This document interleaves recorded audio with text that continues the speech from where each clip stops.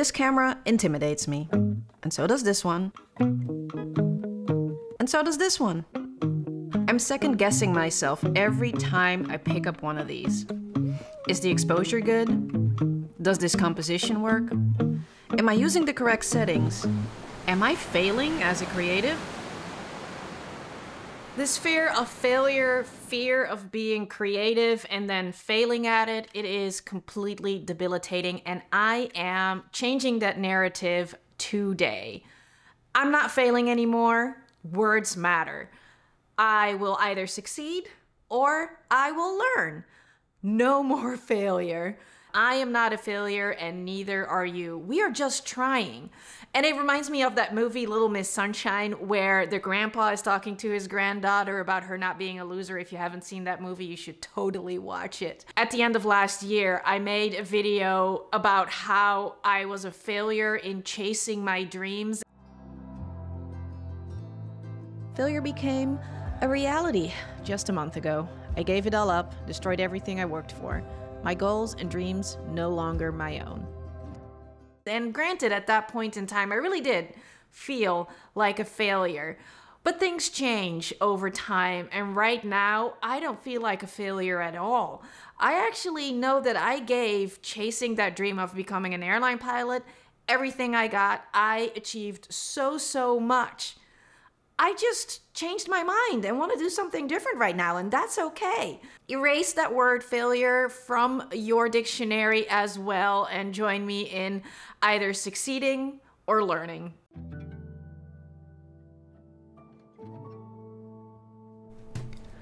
Many things have changed for me in growing older, and I've had such a full and exciting life already, but like I said, things have changed.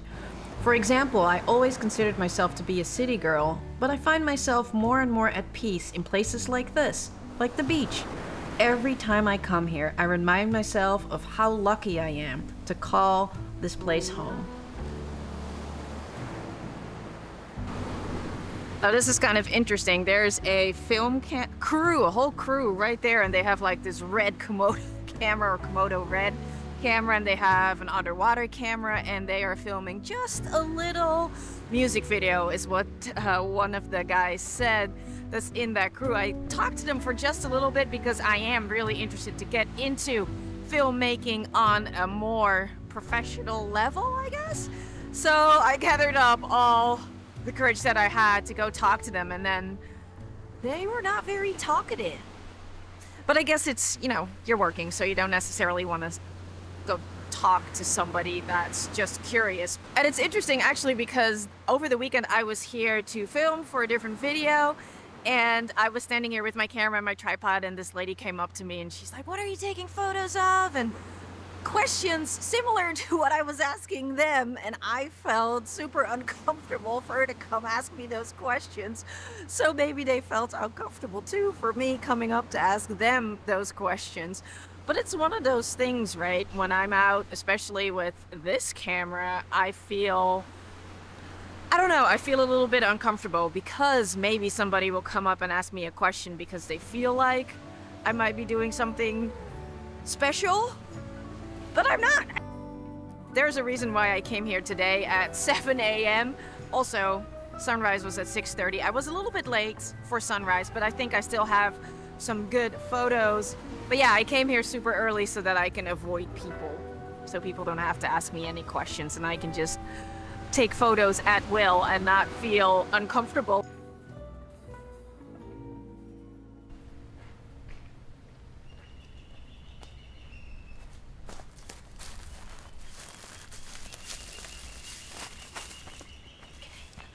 All right, this is going to be the last exposure of the day, so the pressure is on to make it a good photo. That's how I feel. I always feel like I just want to take a good photo because, well, they cost money, right? Like, it's not as easy as it is with a digital camera that you can just snap, snap, snap, snap, snap. And I want this one to count. But that's, that's the thing that holds me back. So I'm just gonna try it and see what I can do because there's lots varying lighting conditions. The sun is coming in and out and uh, there is no automatic mode on this camera. So I'm just going to, yeah, I'm just going to do it and see what it comes out like.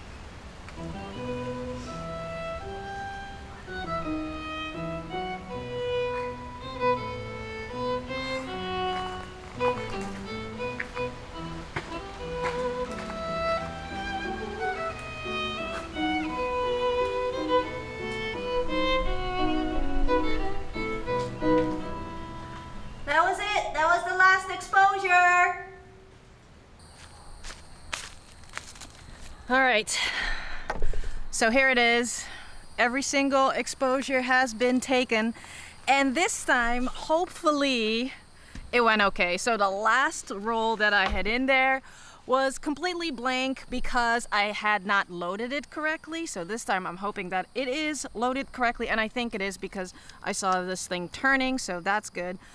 All I need to do now is roll it back into the film and then get it developed. I will do that right now.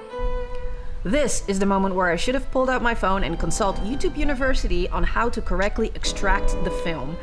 So I don't feel any resistance now. Well, just gonna open it, see what happens.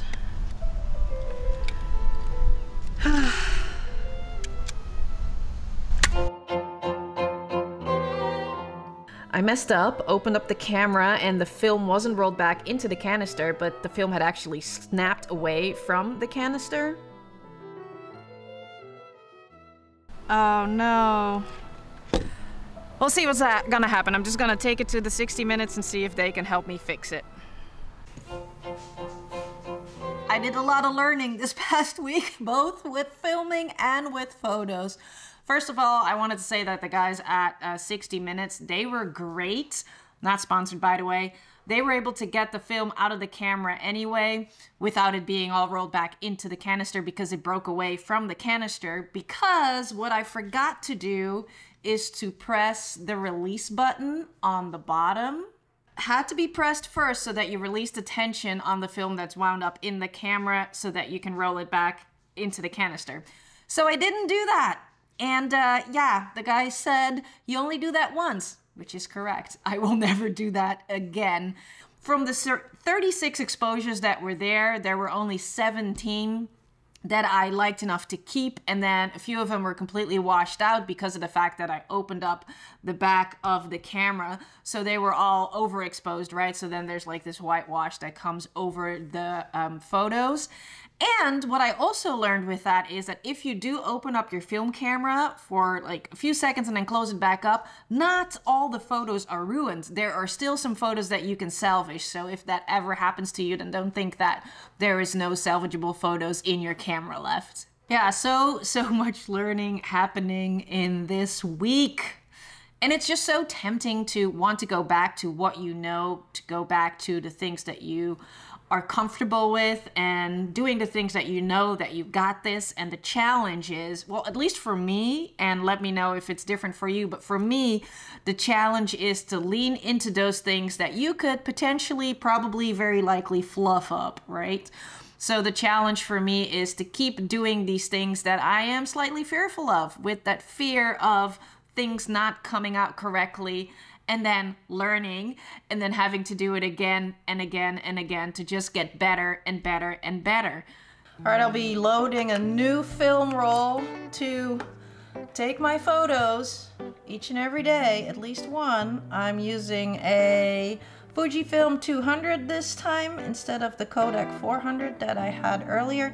And this time I did consult YouTube University before starting this process this little Tabo is proving to be a little bit more challenging than I want it to be. Then I'll pull this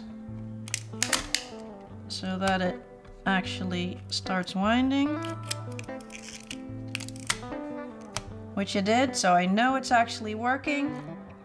Close it. to then not open it again until I'm actually ready. Thank you so much for hanging out with me today and giving me so much of your valuable time. If you made it to this point in the video, then you are definitely my people. I would be honored if you choose to subscribe and come hang out with me again in a different video. Be careful out there, pet a furry friend if you have one, and I'll see you in the next one.